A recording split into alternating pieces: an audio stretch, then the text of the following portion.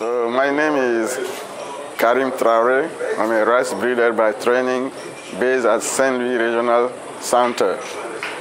So we had a very nice collaborative program with FEPROBA, which is based in Anambé in the southern region of Senegal. So we started by giving some cages of rice, but when I say seed of rice, I mean quality seed because we did not send them any sort of seed, but we make sure that the seed was of very good quality and then the variety was suitable for the region. So we have three main partners. The farmers organization, which is called FEPROBA, the extension service is called SODAGRI, the Ministry of Agriculture, for the self-sufficiency, and then Africa Rice.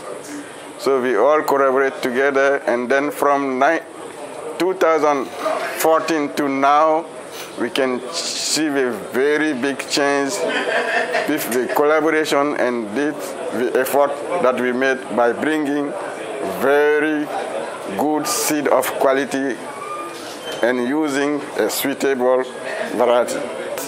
The first input to get higher yields in rice production, or I can say in agriculture, is seed. But unfortunately, most of our rice producers will think about seed at the last minute. So when it starts raining or when the soil is prepared that we have to plant, it's at that moment that they are thinking about seed.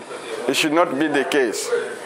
You should have a planning and then seeds should come first. And when I say seed, I have to emphasize it's a good quality seed, not paddy per se.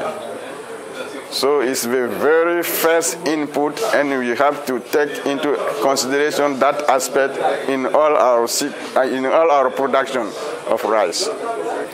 Donc je disais que nous avons entamé une collaboration exemplaire avec les acteurs de l'Union des producteurs de Anambé, qu'on appelle FEPROBA, avec le service d'encadrement qu'on appelle Sodagri, avec l'implication du ministère de l'Agriculture et Africa Rice.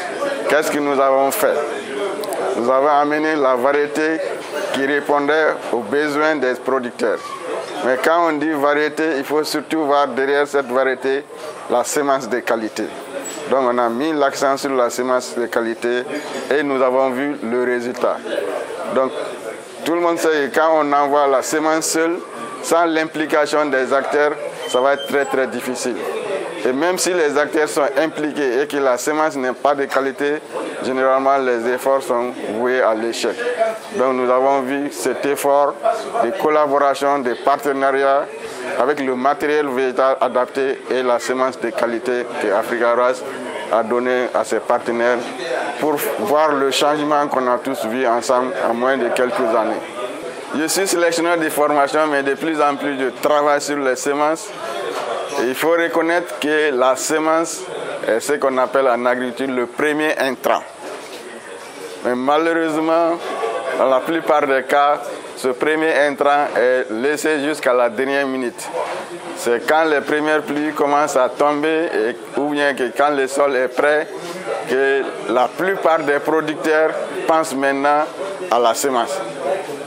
Donc, alors que ça devrait être le contraire. On devrait faire la programmation, savoir la variété qu'on va cultiver et maintenant chercher la vraie source de semences de qualité.